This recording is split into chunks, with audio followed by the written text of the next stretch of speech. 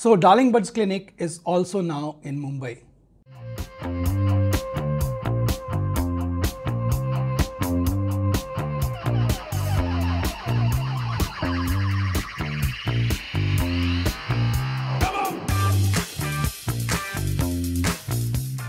In this video, I will answer a few questions and I will also show the procedure of hair transplant that we follow while doing hair transplant in Mumbai. Ever since we opened uh, Darling Buds Mumbai, we have been inundated by several questions. Questions like, do you do hair transplants also in Mumbai or you do only consultations? What is the cost of a hair transplant at Darling Buds in Mumbai? Is the price of hair transplant in Mumbai higher than that in Chandigarh? Is hair transplant in Mumbai carried out at Lokhandwala or Juhu or Bandra? So we have been operating in Lokhandwala, Andheri West for quite some time now. Our clinic is very easily accessible by road and metro. It is just 30 minutes away from the international airport. Since we already have a large client base from Mumbai and especially from the film industry Bollywood, our hair transplant clinic in Mumbai shall for now cater to our existing hair transplant clients. And for those of you who may be suspicious that this may be a clinic on franchise, let me allay your anxiety. We continue to abide by our motto one doctor, one patient, one clinic. And that is our core philosophy at Darling Buds, Darling Buds Mumbai, as well as Darling Buds Chandigarh. The whole core team of Darling Buds shifts to Mumbai when we have a client on whom we are doing hair transplant in Mumbai. There is no hair transplant being done in Chandigarh simultaneously on that day. We at Darling Buds Clinic have devised set protocols of care, of procedure and follow up, and they are cast in stone. They may though vary individually since some patients have specific requirements and clinical challenges may be encountered from case to case. But on the whole, the procedure we follow from consultation to the hair transplant process and then the follow up remains unaltered. Our technique, the Anagen Q Plus technique, is an improvement upon the modified DHI technique. And since this technique gives consistently good results in my clients, I am both uncomfortable and suspicious with any deviations from my set practice. So the procedure that we follow in Chandigarh is the procedure we'd follow while doing a hair transplant in Mumbai. The first step in the whole process of hair transplantation is consultation and planning. The patient's health status is assessed through lab investigations and meticulous history taking. His level of uh, baldness is evaluated and the donor supply is critically determined. Through a long discussion, both online and in person, the patient's goals and objectives from what he or she wants to achieve through hair transplant is brought out. And if the expectations are higher than what we can feasibly deliver through a hair transplant procedure, given his situation, we attempt to reset these goals and objectives. Also, the patient's hormonal profile is determined. So, we can make a holistic plan involving both hair transplant and medical treatment if the condition so desires. We at Darling Buds Clinic have never pressurized a patient into doing a hair transplant procedure forthwith. His need to be left alone to do the research independently is respected as he asks more questions from us, maybe from other competitor clinics. And this is very natural. The patient has to be at ease with your practice, and only once he has established a good working relationship a comfort zone with you, will he sign up?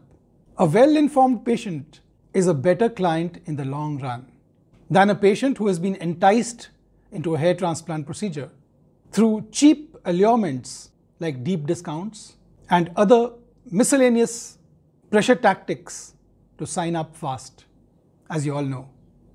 A protracted engagement with the patient, both online and in person, also allows you to read the patient's mind since most patients are emotionally charged, emotionally charged due to their hair loss, it upsets them a lot.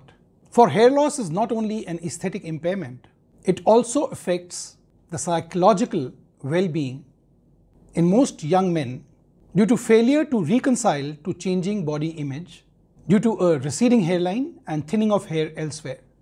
A consultation a day before the procedure is essential, essential in my practice at least, because this uh, gives the patient enough time to go over the plan, think over the hairline that was drawn, knowing fully well that his baldness is going to progress and he has to leave room for future procedures if his baldness is not yet stable. A consultation a day before the procedure also allays the patient's anxiety on the day of the procedure. He feels he is not being rushed into the procedure, rushed into a hairline and a plan which he may be uncomfortable with later because it was a hasty decision. Since once the plan is made, the hairline is determined, the die is cast. It is very difficult to undo a procedure. On the morning of the procedure, the plan is explained to the patient once again. The hairline is again drawn, and when the patient and the doctor are on the same page, the patient is taken for hair trimming and antiseptic wash of the scalp. He then enters the surgery room. Our operation theatre rooms, both in our hair transplant clinic in Chandigarh and hair transplant clinic in Mumbai, are equipped with all life saving measures. We leave no stone unturned in our effort to providing a safe environment for hair transplant with the best patient safety standards. We consider that our operation rooms are better equipped than many in the Western world. An anesthetist is always in attendance to monitor the patient during the procedure. So then I proceed to administer local anesthesia, and the local anesthesia that we use is lidocaine. This is almost always well tolerated by the patient.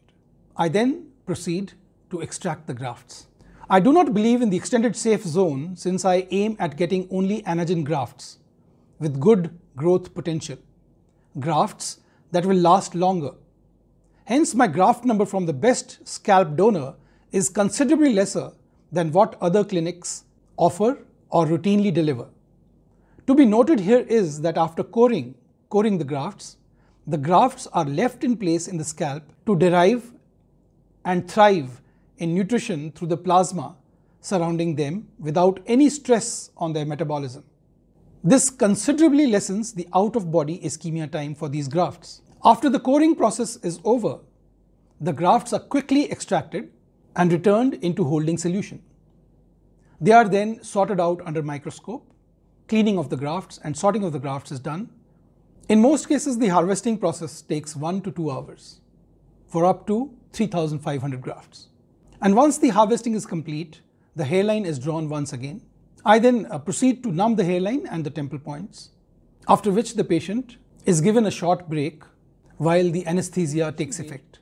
I use the Sapphire precision blade to make these slits. High density can only be achieved with the Sapphire precision knife. The plantation led by Dr. Akanxa Bhatti starts soon after and in 1 to 2 hours, mostly it is complete. We use a disposable implanter pen, which is our in-house fabrication for plantation. Once the plantation is over, the patient rests for a while and then he returns home or to the hotel where he's staying. So that was about the procedure we follow, the procedure we follow in hair transplant clinic in Mumbai and hair transplant clinic in Chandigarh. It is essentially the same procedure that we've been following for some years now. Thank you for watching and I hope to see you very soon as we discuss this patient's hair transplant result in Mumbai. So we are in Mumbai every month for two weeks. If you are in Mumbai and have hair loss or balding issues and wish to seek a consultation, this is our address and you can contact us on phone or on WhatsApp on either of the two numbers provided to fix an appointment for an in-person consultation. If you think that there was some information that is missing, you just have to drop a comment in the comment section below and I'll soon get back to you with an answer. The description box below has much more information about my hair transplant clinic in Mumbai. So see you in my hair transplant clinic in Lokhandwala, Mumbai and may God bless you.